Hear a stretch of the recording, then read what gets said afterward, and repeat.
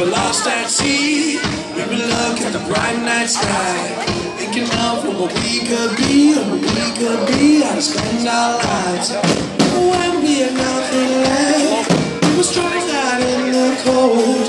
Holding on, trying to save our breath, trying to save our breath. We would not go.